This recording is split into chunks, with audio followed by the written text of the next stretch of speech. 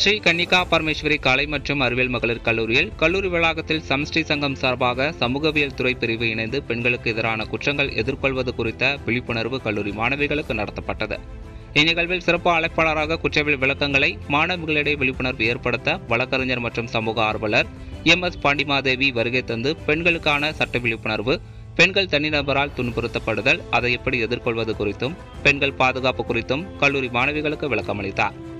இந்நிகழ்வினை ஸ்ரீ கன்னிகா பரமேஸ்வரி கலை மற்றும் அறிவியல் மகளிர் கல்லூரியின் முதல்வர் டாக்டர் டி மோகனஸ்ரீ துணை முதல்வர் P P Vanitha correspondent Gokulam Ramesh ஆகியோர் வழிகாட்டுதலின்படி நிகழ்ச்சி வெகு சிறப்பாக நடைபெற்றது.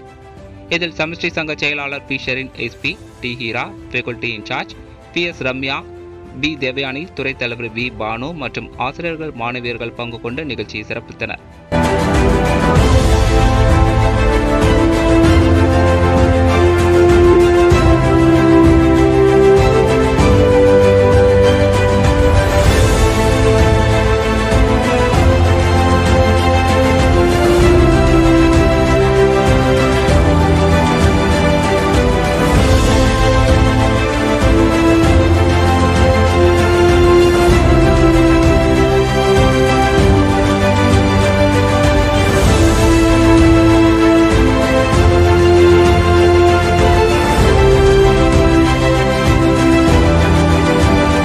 Kannika Parameswari arts and science காலேஜில் பெண்களுக்கு சட்டத்தை பற்றின விழிப்புணர்வு பற்றி பேசினோம்.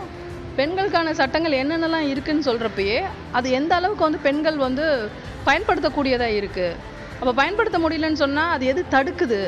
அப்படி பல விஷயங்களை பற்றி பேசணும் சட்டத்தை பற்றி மட்டும் பேசாமல் ஜெண்டர் என்று சொல்லக்கூடிய பால் சார்ந்த பாகுபாடு ஆண் பெண் வந்து எப்படி வளர்க்கப்படுறாங்க அப்போ பெண்கள் வந்து அதிகாரம் இல்லாதவர்களாக சொத்து இல்லாதவர்களாக எந்த ஒரு ஸ்பெஷல் ப்ரிவிலேஜஸும் இல்லாத இருக்கிறதுனால அவங்களால வந்து சட்டம் இருந்து கூட அதை சரியாக வந்து பயன்படுத்திக்க முடியல. அப்போ அவங்க மேலே இருக்கக்கூடிய வன்முறைகளும் சரி மற்றதும் சரி தொடர்ந்துக்கிட்டு தான் இருக்குது. அஞ்சு நிமிஷத்துக்கு ஒரு பெண் மேலே ஒரு பாலியல் பலாத்காரம் செய்யப்படுறாங்க. அப்போ மூணில் ஒரு பெண்கள் மேலே ஒரு பெண் மேலே வந்துட்டு எப்படியுமே வந்து பதினெட்டு வயசுக்குள்ளே ஒரு வன்முறை நடத்தப்படுது. இப்படியான ஒரு புள்ளி விவரங்கள் தொடர்றதுக்கான காரணம் பற்றியும் நம்ம பேசுகிறோம் அப்போ இந்த சட்டம் இருக்குது ஆனாலும் தொடர்ந்து வன்முறை நடக்கு. அப்போ இதை எப்படி களையணும் அப்படின்றப்ப பெண்கள் என்ன செய்யணும்? பெண்கள் வந்து இந்த இந்த ப பவர் பேலன்ஸை வந்து எப்படி பார்க்கணும்? இதில் வந்து தன்னோட பாதுகாப்பை அவங்க எப்படி உறுதிப்படுத்தணும் போன்ற விஷயங்களெல்லாம் வந்து நம்ம தெளிவாக இந்த விழிப்புணர்வு முகாமில் நம்ம பகிர்ந்துக்கிட்டோம் கன்னிகா பரமேஸ்வரி காலேஜ் கலை மற்றும் அறிவியல் கல்லூரி சார்பாக இன்றைக்கி சமுதாயவியல் துறையில் அசோசியேஷன் ஆக்டிவிட்டீஸ் கண்டக்ட் பண்ணோம்.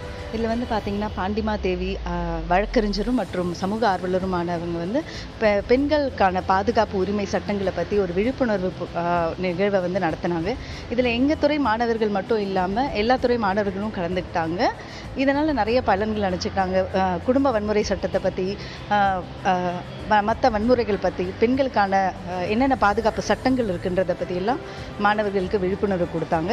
அது மட்டும் இல்லாமல் அசோசியேஷன் ஆக்டிவிட்டி சார்பாக போஸ்டர் மேக்கிங் காம்படிஷனும் ஃபயர்லெஸ் ஆரோக்கியம் மகாபாக்கியம் எங்களோட கல்லூரியினோட இது மூலமாக வந்து ஆரோக்கிய மகாபாக்கியம்ன்றதால ஃபயர்லெஸ் குக்கிங்ன்ற காம்படிஷனும் மாணவிகளுக்கு நடத்தப்பட்டது. வணக்கம்.